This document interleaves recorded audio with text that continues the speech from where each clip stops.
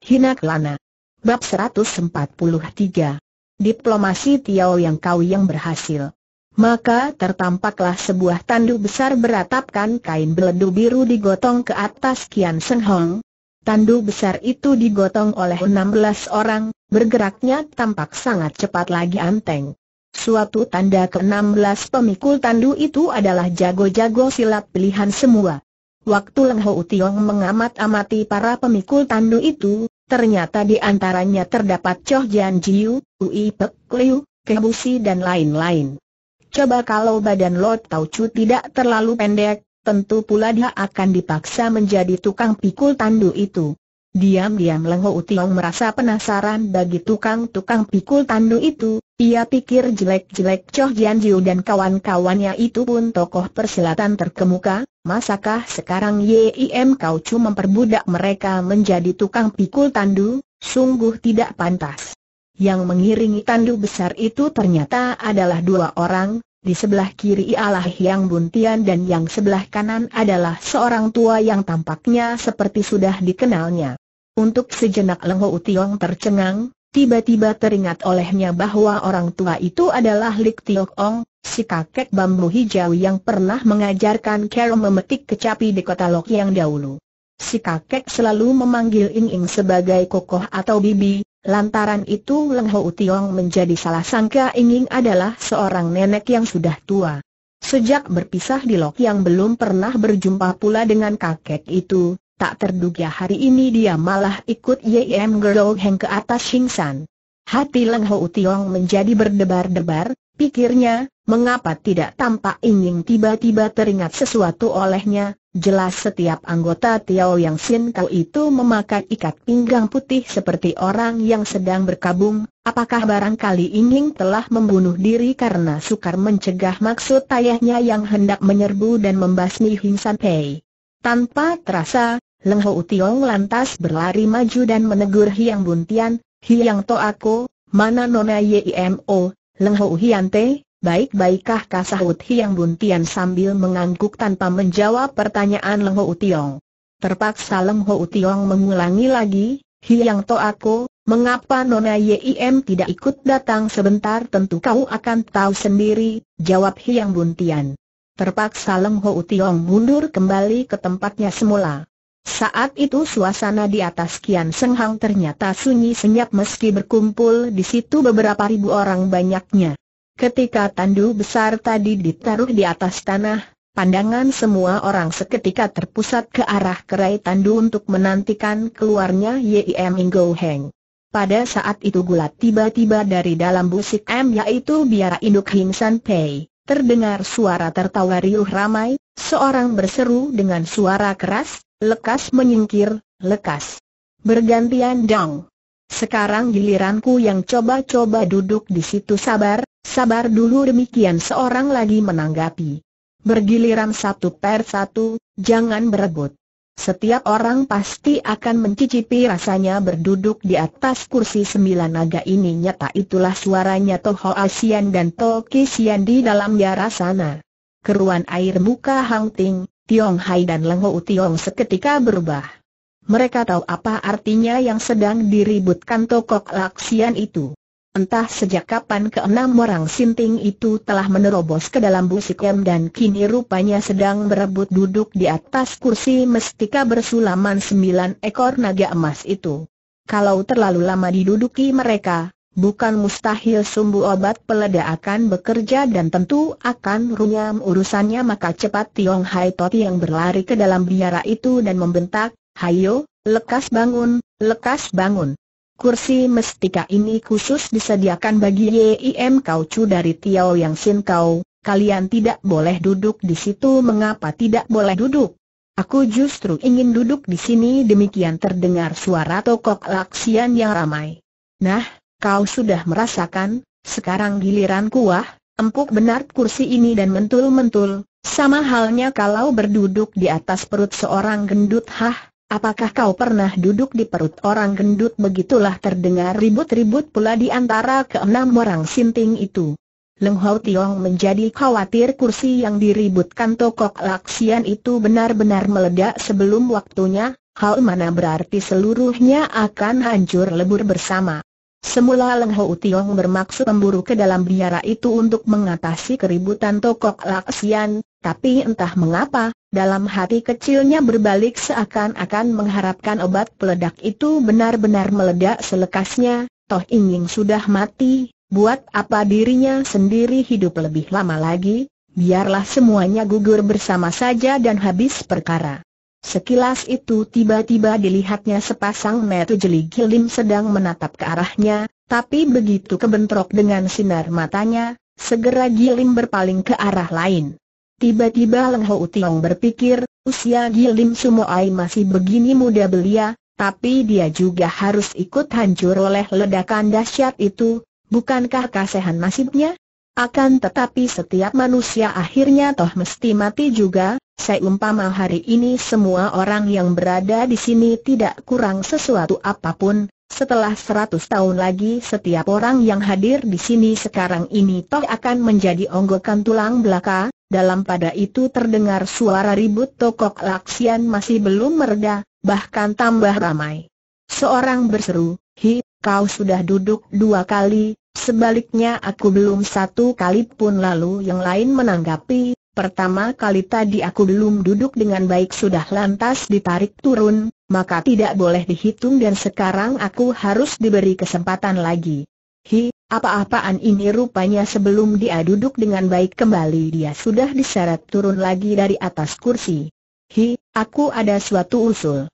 Begini saja, kita berenam saudara boleh sekaligus duduk berjejal di atas kursi ini. Coba muat atau tidak demikian tiba-tiba seorang di antaranya mengusulkan. Bagus, usul yang bagus. Hayolah kita duduk bersama, hahaha kau duduk dulu, aku duduk bagian atas saja tidak, kau saja duduk di bawah dan aku di atas begitulah mereka tambah ribut dan tambah edan-edanan.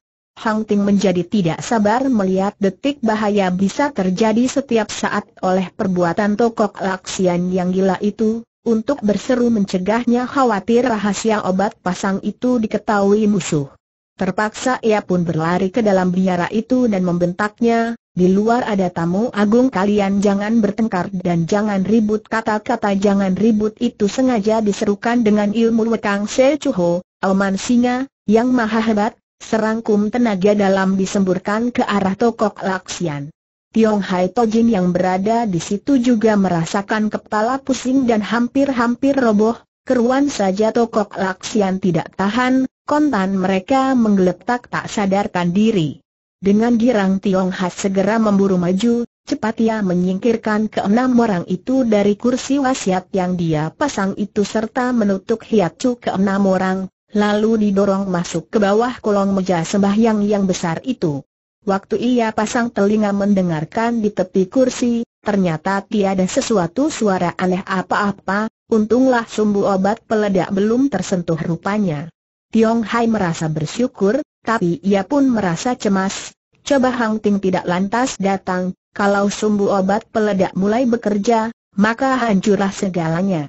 Begitulah bersama Hang Ting segera mereka keluar lagi dan berseru, silakan IEIM kau cu masuk ke dalam akan tetapi tandu hias itu diam-diam saja, orang di dalam tandu tidak memberi jawaban apa.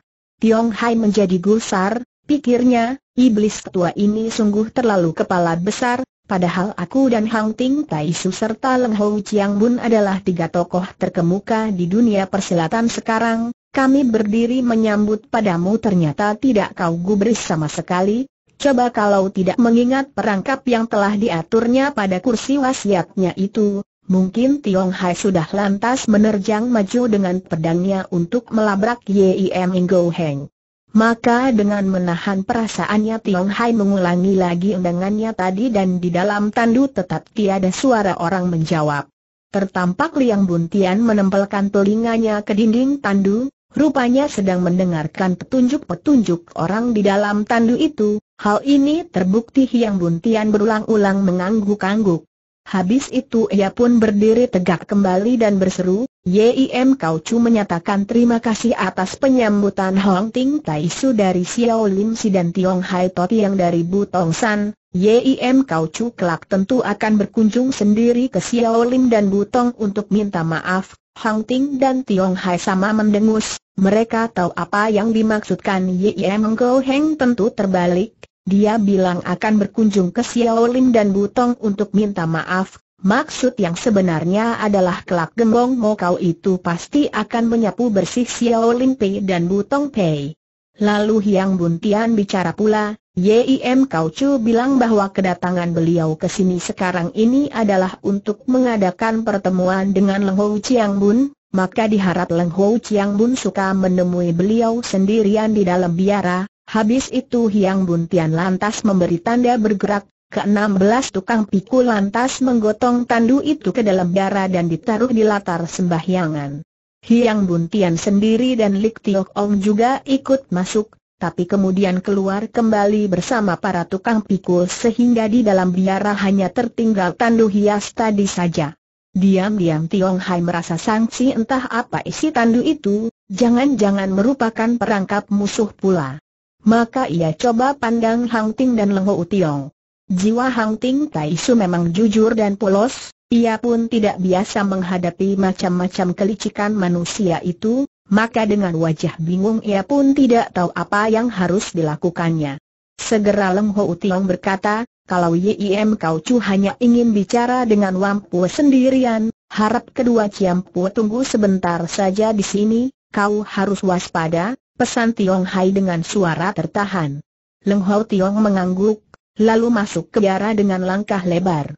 Biara Busik M itu sebenarnya cuma sebuah rumah kecil saja, kalau di ruangan sebelah yang itu ada orang bicara dengan suara keras pasti akan terdengar dengan jelas dari luar.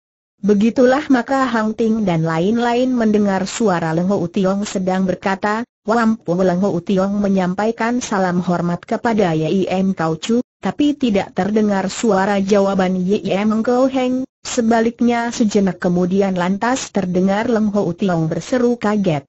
Keruan Tiong Hai dan Hang Ting terkejut dan mengkhawatirkan keselamatan Leng Ho Tiong, segera Tiong Hai hendak menerjang ke dalam darah untuk membantunya, tapi lantas terpikir olehnya, betapa hebat ilmu pedang adik Leng Ho boleh dikata tiada bandingannya di dunia ini, rasanya tidak mungkin ditundukkan iblis tua mokau itu hanya sekali gebrak saja. Andaikan betul adik Leng Hou mengalami nasib malang biarpun aku lari masuk ke sana juga sudah terlambat untuk menolongnya. Paling baik kalau iblis tua CIM itu tidak mencelakai adik Leng Hou, lalu biarkan dia sendiri tinggal di dalam dan dia pasti ingin mencoba duduk di atas kursi mewah itu, maka kalau aku menerjang ke dalam jangan-jangan berbalik akan membuat runyam urusan, tapi segera ia sendiri merasa tidak tenteram, Terpikir olehnya kalau benar Yim Inggo Heng sudah berduduk di atas kursi itu, sebentar lagi sumbu obat peledak tentu akan mulai bekerja dan Kian Seng Hang ini pasti akan hancur lebur, termasuk semua orang yang berada di situ. Kalau aku sendiri sekarang lantas menyingkir tentu akan kelihatan pengecut, bila menimbulkan curiga yang buntian dan begundalnya, lalu memberi peringatan kepada kawannya untuk mengundurkan diri, maka hal ini berarti rencana yang telah kuatur akan gagal total. Sebaliknya kalau peledakan terjadi dan tidak sempat menghindar, lalu bagaimana akibatnya nanti? Sebenarnya sudah direncanakan secara matang care bagaimana akan menghadapi pertempuran sengit dengan musuh bila Tiao Yang Sin kau menyerbu ke atas gunung, lalu care bagaimana harus mundur teratur diperhitungkan pula, di waktu Yim Inggo Heng berduduk di atas kursi naga sembilan, tentu orang-orang Xiao Lim Pei, Butong Pei dan Hing San Pei sudah menyingkir seluruhnya ke dalam jurang.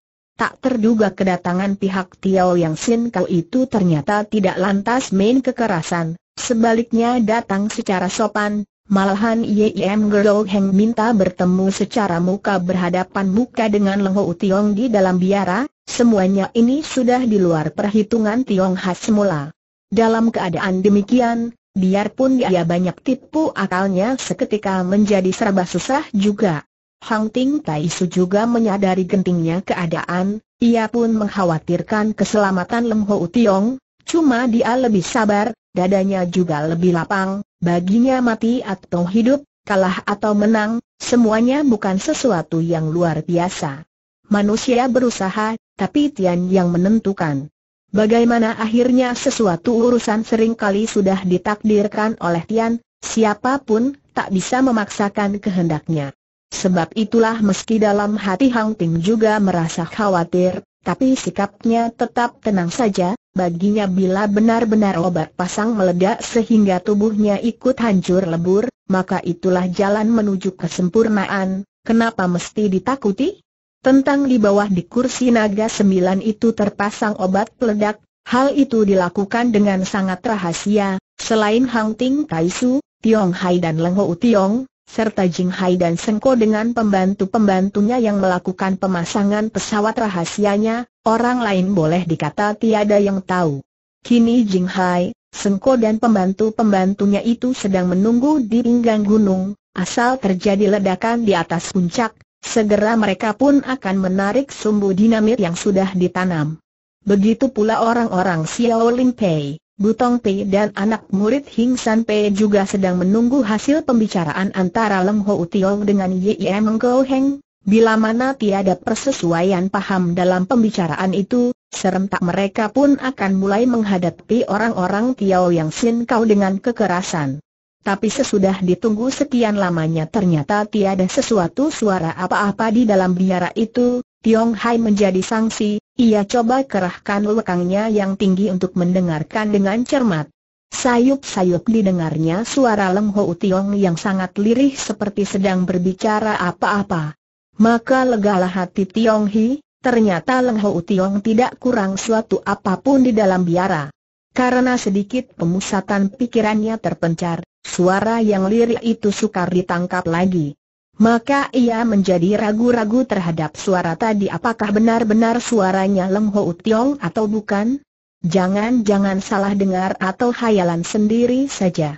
Syukurlah tidak lama kemudian lantas terdengar seruan Leng Ho Tiong di dalam biara, Hiang To Ako, Silakan kau masuk untuk mengiringi Yim Kau Chu keluar biara Hiang Buntian mengiyakan, cepat ia bersama Lik Tiok Ong dan ke-16 tukang pikul tandu tadi berlari masuk ke dalam biara, sejenak kemudian tandu besar itu telah digotong keluar lagi.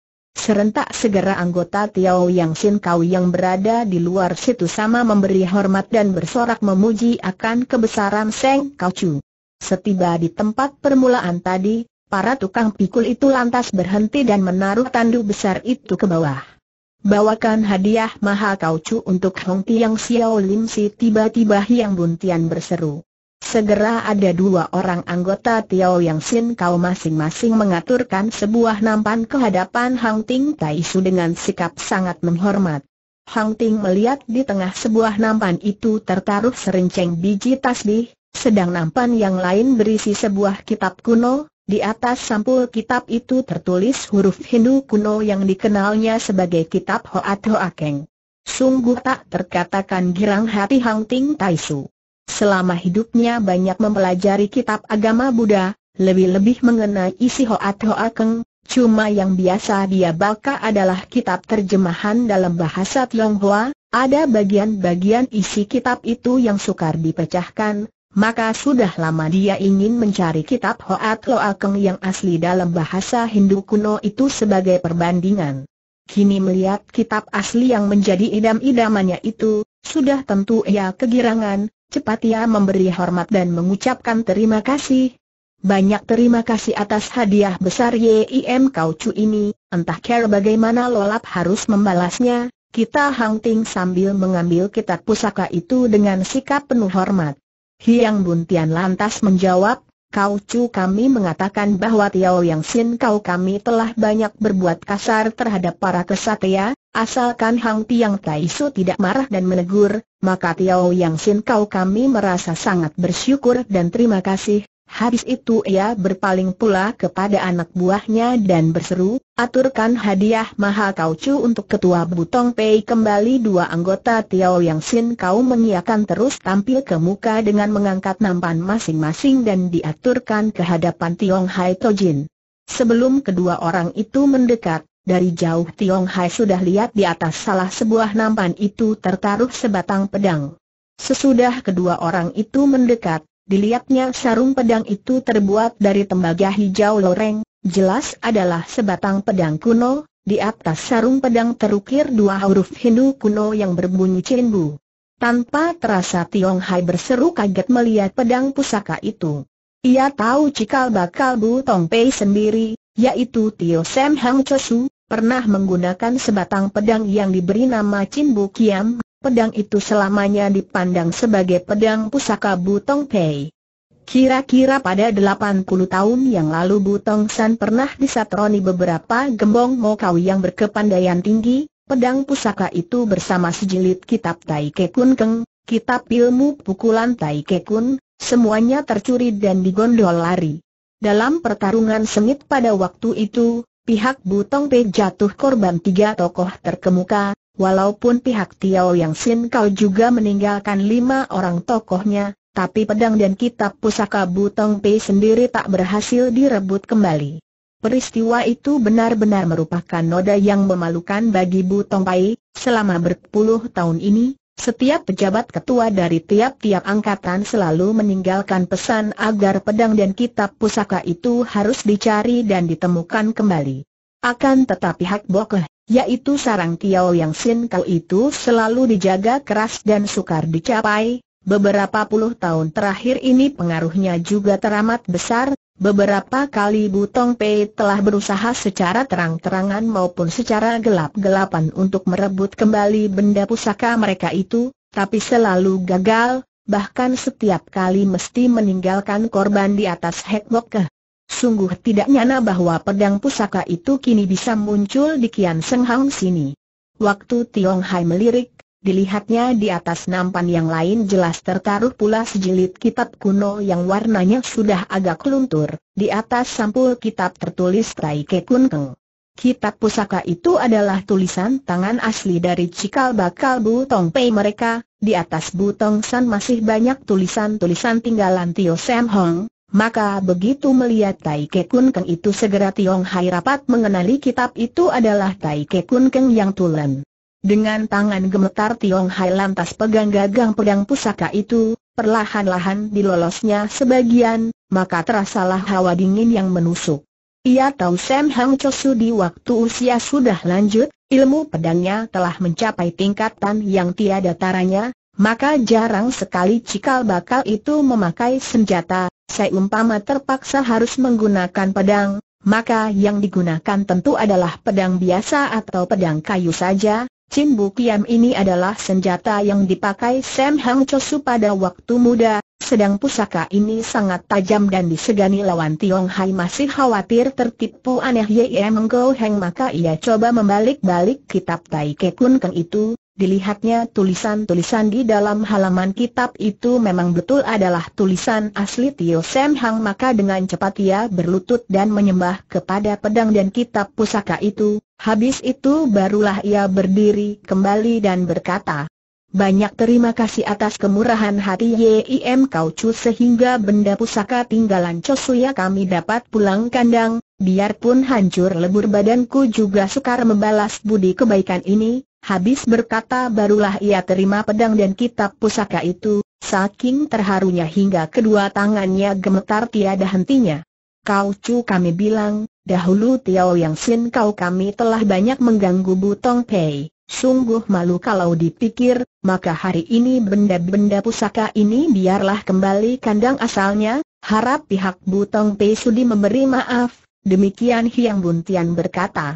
Ah, Yim kau cu terlalu rendah hati, sahut Tiong Hai. Lalu Hiang Buntian berseru pula, sekarang aturkan hadiah mahal kau cu untuk Leng Hou Chiang Bun dari Hing San Pei dalam hati Hang Ting Tai Su dan Tiong Hai Tojin sama berpikir entah benda mestika apakah yang dihadiahkan Yim Engkau Heng kepada Leng Hou Tiong itu mengingat hadiah untuk mereka adalah benda-benda pusaka yang tak ternilai itu.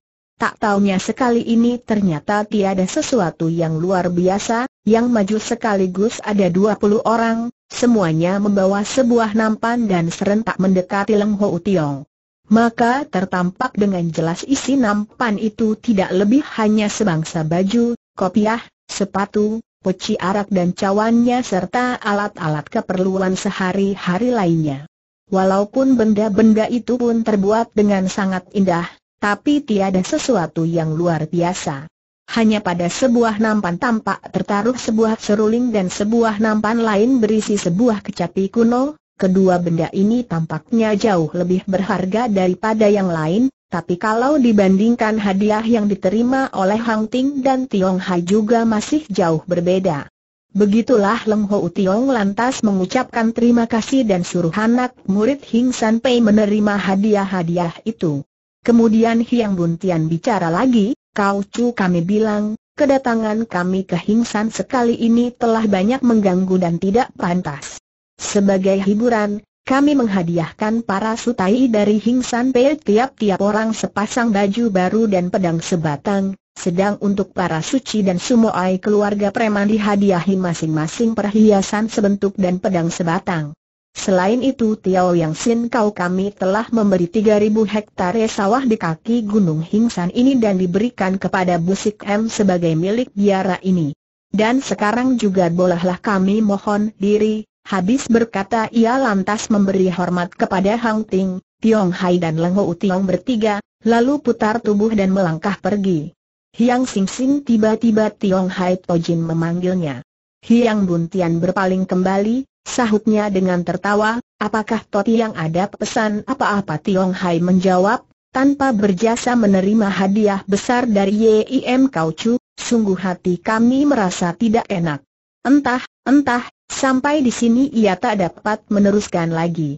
Mestinya ia ingin tanya, entah apakah artinya pemberian hadiah ini, tapi pertanyaan ini ternyata tidak sanggup diucapkan. Hiang Buntian hanya tertawa saja, ia memberi hormat pula dan berkata, benda pusaka kembali asalnya, hal ini adalah jauh daripada pantas, kenapa Toti yang mesti merasa tidak enak hati? Lalu ia putar tubuh kembali dan berseru, kau cu perintahkan berangkat sering tak suara alat tetabuhan berbunyi gemuruh pula, ke sepuluh tiang lo berjalan di depan sebagai pembuka jalan, ke-16 tukang pikul tandu lantas angkat lagi tandu besar itu dan turun ke bawah gunung dengan iringan barisan-barisan penabuh musik serta barisan-barisan yang berseragam beraneka warna itu sesudah keadaan di Kian Seng Hang sunyi kembali, Hang Ting dan Tiong Hai sama menatap Leng Ho Tiong tanpa berkata, dalam hati mereka timbul pertanyaan yang sama, mengapa YIM? Kau Chu tidak jadi menyatroni Hing San Pei? Seluk-beluk hal ini hanya kau saja yang tahu, tapi dari air muka Leng Ho Tiong sedikit pun tak tampak sesuatu perubahan yang dapat memberi jawaban bagi pertanyaan mereka itu. Hanya tertampak wajah Leng Ho Tiong ya rada senang dan juga rada berduka. Sementara, itu orang-orang Tiao yang Sinka sudah pergi jauh, suara tetabuhan yang gemuruh tadi sudah tak terdengar, teriakan semboyan-semboyan mereka pun lenyap, Datangnya gagah perkasa penuh wibawa, tapi tahu-tahu pergi begitu saja tanpa terjadi apa-apa. Tiong Hai tidak tahan, segera ia bertanya, Leng Hou Chiang Bun, tiba-tiba Yim Kau Chu sedemikian murah hati, tentunya karena dia menghargai dirimu, entah tadi, tadi, mestinya ia ingin tanya entah tadi apa yang dia bicarakan dengan kau.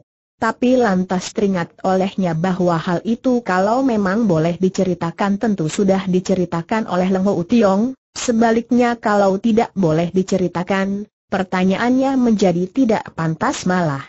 Karena itulah dia urung meneruskan pertanyaannya itu. Tapi Leng Ho Tiong dapat memahami pikiran Tiong Hai, segera ia berkata, harap kedua Ciampu Sudi memaafkan, soalnya tadi Wampu sudah berjanji kepada Yim Kaucu, maka seluk-beluk urusan ini sementara tak dapat kukatakan.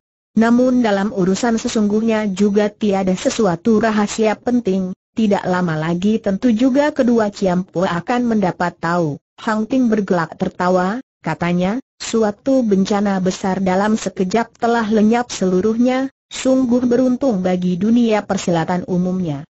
Melihat gerak-gerik YIM Kaucu tadi, tampaknya tiada tanda-tanda permusuhannya dengan pihak Ching Pei kita, maka kita benar-benar harus bersyukur dan bergirang karena malapetaka yang hampir menimbulkan banjir darah ini dapat dihapus dengan care begini saja. Hati Tiong Hat seperti dikitik-kitik karena tetap tak tahu teka-teki apa yang tersembunyi di balik kejadian tadi, tetapi ia pun merasa apa yang dikatakan Hang Ting itu juga benar, maka kemudian ia pun berkata, bukan maksudku mengkhawatirkan hal-hal yang takkan terjadi, Cuma biasanya Tiao Yang Sin kau memang licik dan banyak tipu akalnya, betapapun kita harus waspada. Sebab bukan mustahil YIM Kau Chu telah mengetahui kesiapsiagaan kita, bisa jadi dia takut akan obat peledak yang telah kita pasang, sebab itulah hari ini dia sengaja membaiki kita, tapi lain hari kalau kita lengah, mungkin dia akan menyergap kita secara mendadak. Mungkinkah terjadi demikian jika menurut pendapat kalian berdua ya? Memang, memang hati manusia sukar diukur, segala apa, ada lebih baik waspada, ujar Hang Ting. Sedang Leng Tiong tampak menggeleng dan berkata dengan tegas, tidak, pasti takkan terjadi begitu, jika Leng Ho Tiong yakin takkan terjadi begitu, maka segala sesuatu tentu akan menjadi baik, kata Tiong Hai. Selang tak lama, Laporan dari bawah gunung menyatakan bahwa pasukan Tiao Yang Sin Ka sudah mengundurkan diri ke bawah gunung, lantaran tidak diberi perintah, maka penjaga di situ tidak mencegatnya dan melabrak musuh, juga dinamit yang terpendam itu tidak diledakan.